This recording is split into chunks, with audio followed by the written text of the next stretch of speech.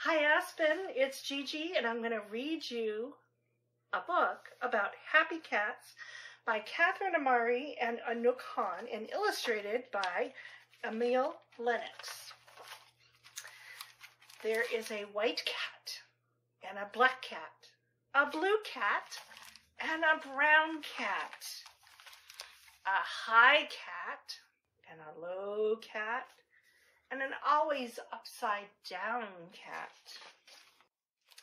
A fluffed cat, a bare cat, a round cat, and a square cat.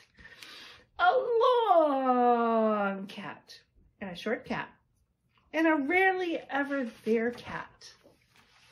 A bold cat, a nice cat, a shy cat, a mean cat, a wet cat, a mud cat, a super duper clean cat,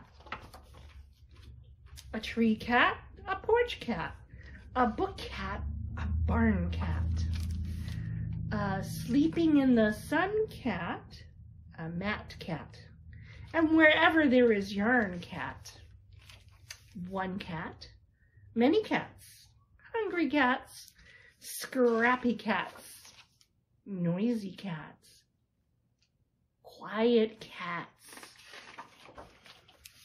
and very, very happy cats. The end.